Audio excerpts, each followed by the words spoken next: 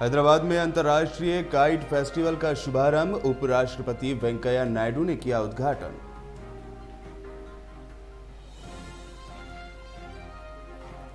तेलंगाना सरकार शीघ्र ही करेगी नई एनआरआई नीति की घोषणा। सांसद के कविता ने किया ऐलान।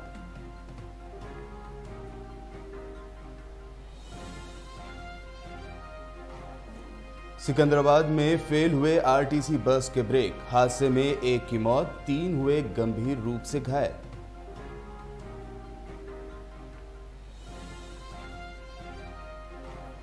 यूपी में सभी 80 सीटों पर अकेले चुनाव लड़ेगी कांग्रेस, आज़ाद बोले चौंकाने वाले होंगे नतीजे।